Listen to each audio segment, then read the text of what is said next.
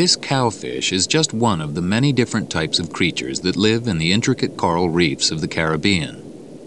Colorful fish patrol the reef in search of food, while sea slugs and starfish make their homes in the reef itself.